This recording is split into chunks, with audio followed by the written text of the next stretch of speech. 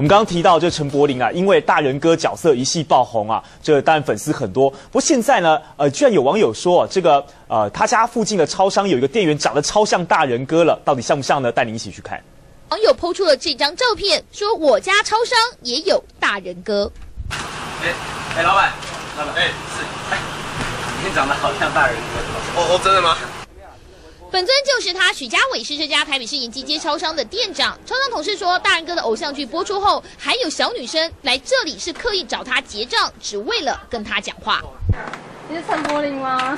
我这边一共是五十六，有优惠一百吗？，有啊，我买一百罐，我就优惠。我看到几个小女生在旁边说：“哎，你看，你看。”然后他们就说：“哎，你看那个有没有像什么？”那我就看，哦，他们说什么大人哥。连住在附近的综艺节目制作人都发现，哎，店员跟陈柏霖长头发时有几分神似，像是眉宇之间，还有高挺的鼻子，尤其是侧面最像。但也有同事说他长得像柯有伦。我也听到什么大人啊，哎，什么柏林啊，这样子而已。对啊对啊对啊。呃，因为我不知道他在讲什么，所以我还是照样结账。对对对。你自己觉得像不像？真的不像。